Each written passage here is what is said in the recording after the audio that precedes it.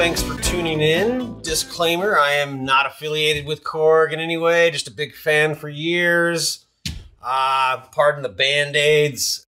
You know, it's the rock and roll lifestyle, I guess. Uh, I'm excited about this. Uh, it's the Korg Nu:Tekt, New Tech NTS2 oscilloscope kit. Um, been wanting one of these for a while. It's been out for a couple years, I think. Originally came with a book, which it no longer does. I had to get the book separate, but it's all good. Totally worth it as well. The book is. Yeah, I'm excited about this because uh, I've had this old uh, Tektronix TDS 102B oscilloscope for years that I got in college, and uh, it's not color. This is color. So, uh, and the screen's not much bigger than what's on this. Let's get right into the fun of opening this thing up for the first time. All right, cool. Let's see what we got in here. Uh-oh. Oh, there we go. Yeah. Look at that. Manual. Sweet. Nice little doodads and whatnot. No soldering required. I'm sure you guys have all seen other videos online by now. Yeah, very cool. Okay, well that's pretty straightforward to the point. Sure, I guess it's the safety stuff. Put that right over here. Okay, let's just go right on ahead and uh, take this thing out and start looking at it. I wonder if I have to uh, ground myself like uh, I should probably read the manual. I haven't seen a lot of other people seeming to uh, worry about this too much, but when you handle electronics like this, you want to be careful not to touch stuff because electrostatic discharge can screw things up pretty bad. So I'll just be careful, I guess, and try not to touch any of those uh, any of those things. And so I guess uh, the way this works is we just snap things off. This looks like this is the control plate putting all this stuff together later. Come on, get out of there. All right. We got here. Very cool. Okay. All right then. Well, let's go ahead and uh, let's put it together. We got the. Uh, hmm, I need some scissors.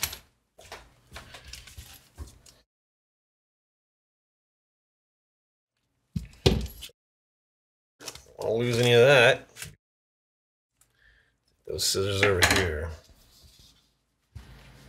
Okay.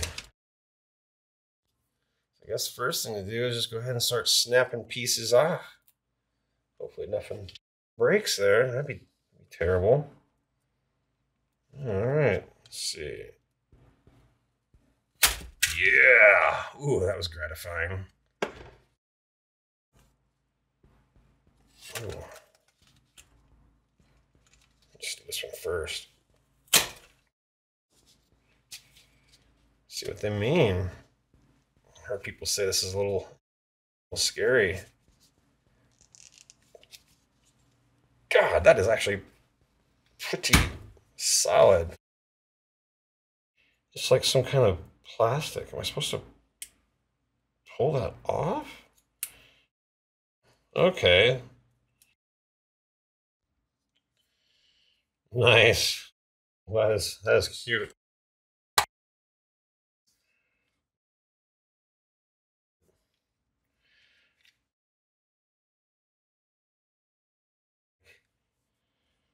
That is super small. It's like Barbie sized or G.I. Joe sized. A little bit more control. Yeah, much better. Yeah there we go. All right, let's just go ahead and get this thing on.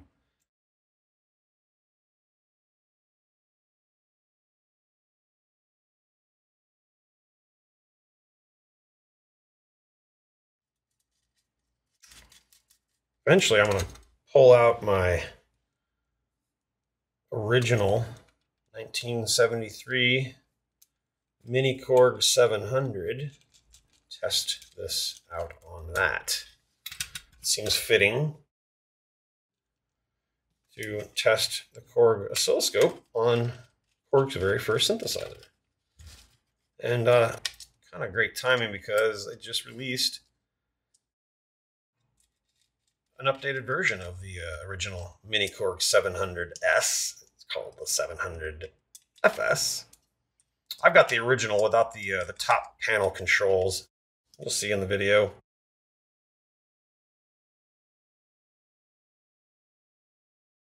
Ooh, cute little feet. Cute little baby Korg feet. There we go, moment of truth. Nice. Okay, so what I'm going to do next is uh, I'm going to bring out my uh, original MiniKorg 700, and uh, we're going to put this thing through its paces a little bit and uh, have a little bit of fun testing that out at the same time. So, uh, be right back. Okay, welcome back. Uh, I've got my original MiniKorg 700. This thing came out, I think, in 1973. Yeah. I got this in uh, some rundown pawn shop out in the middle of nowhere in Missouri. Got it for uh, 125 bucks. Believe it or not. Uh, the guy was asking 150 and I plugged it in and I was trying to play it and I'd never seen one before. I couldn't get any, any kind of sound out of it. I was messing with the knobs and I just could not get it to sound. The light came on, but it nothing came out. Like we plugged it into an amp and nothing. And I'm like, hey man, this thing obviously doesn't work. Um, you knock like 25 bucks off of it, you know, I'll take it. And uh, you know, I mean, I had a, some idea of electronics. I figured there's something I could probably do to fix it. Maybe something easy, but 125 bucks, you know, went a long way back then, a lot more than it does now. Anyway, he agreed, and uh, here it is. I um, I haven't turned this thing on in in years. I don't remember the last time I turned this thing on. I've just had it in storage because uh, I've been wanting to refurbish it at some point. You know, the knobs are pretty bad. They're staticky. They're just they're terrible and really hard to, to move. Anyway, I'm gonna do a video about this separate. So moving right on, I just really wanted to try out. Really just wanted to try this this thing out. Ooh, sorry about that. It's gonna have to. Ouch. I really just wanted to try this thing out. Test the uh, the Korg oscilloscope on it. So let's go ahead and see what happens here. Ooh, that's not good. Ooh, I'm getting sound.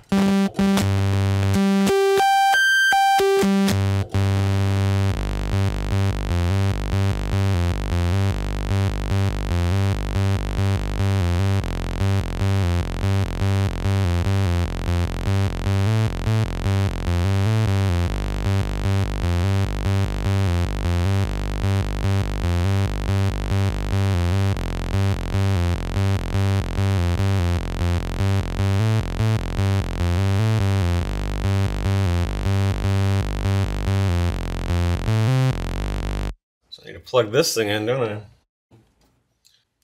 Yeah, let's give it a try and see what happens here. I don't think I've ever put this thing through an oscilloscope. The Korg 700. I don't think I've ever even tested it, honestly. So this is gonna be uh, this is gonna be fun.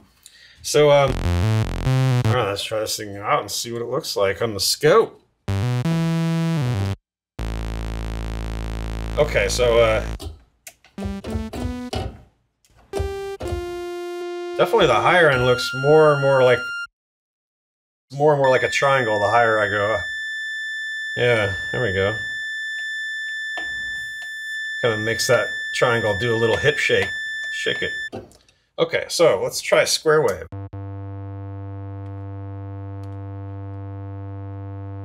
Yeah, that's uh, that is one funky looking square wave if I ever saw one. Sawtooth. There we go. That looks pretty spot on.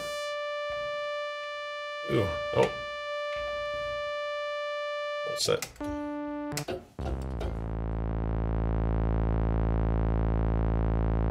That's the saw.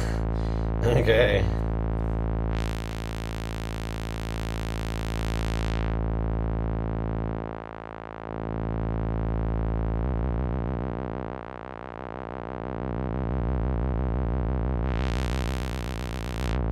Very nice. Okay. I didn't even tune this thing. I guess I should probably tune it and see how that works. Let's see. Uh, look at that. It is perfectly in tune. Now, that is a testament to Korg's amazing engineering, even way back in 1973. That is spot on. I cannot get any better. And of course, I could pitch it. Over here, I've got a pitch slider for the 700, but it was like perfectly on, and there's no indent there, so I must have tuned this a long time ago, uh, or I must have, and it, and it stayed in tune this whole time in storage. Look at that. 16 feet, 8 feet. Hats off to you, Korg. This is one lasting piece of technology. Um, really quick, I wanted to show uh, the difference between what this does and, say, like a traditional oscilloscope, in case anyone's curious. Um, I don't have the best one, as you'll see, but uh, gives you kind of an idea of uh, the differences that you can see in these things. So I'll be right back and I'll show an example of those. All right, welcome back. Yeah, so this is uh, kind of the last leg of my uh, unboxing video, kind of turned into more than just an unboxing video. As you'll see, I flip it on here. It takes about five minutes for it to fire up. Certainly longer than the Nu:Tekt. One thing that's uh, immediately obviously different between these two is that this is not color. This is uh, black and white. God, it's still booting up. That's crazy.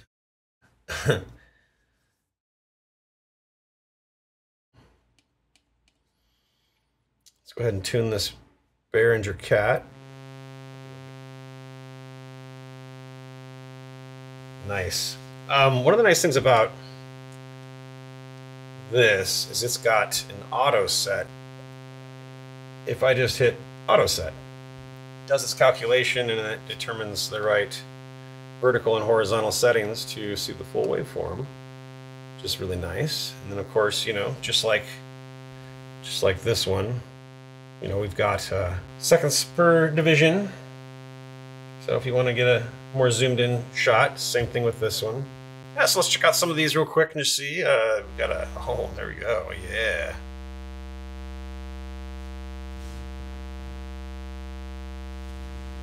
Very nice.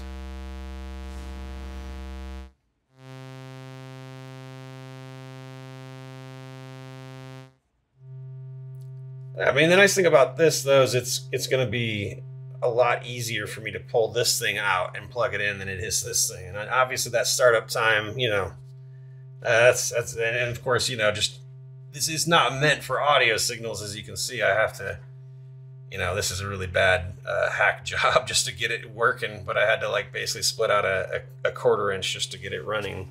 Um, so yeah, I mean, this is going to be a lot more convenient. Like I hardly ever fire this thing up anymore, just because it's you know, it's a process. I mean, if I really need it, sure. But a lot of times when I'm on my computer, I can just use an oscilloscope on that as well. So I don't really have as much of a need for a hardware one, but this is going to really be helpful for that because I won't have the uh, the software plug-in oscilloscopes available. Yeah, digging it quite a bit actually. This is uh, super cool. It disappears. The disappearing waveform. All right. Well, one last thing I'm going to do before I uh, close it out is uh, I was going to I'm going to see if I can find a knob. It's going to probably look really stupid, but you know, just to get a little bit more uh, control, maybe um, might be kind of cool to put another knob on there. So let me see what that looks like real quick, and uh, yeah, I'll be right back.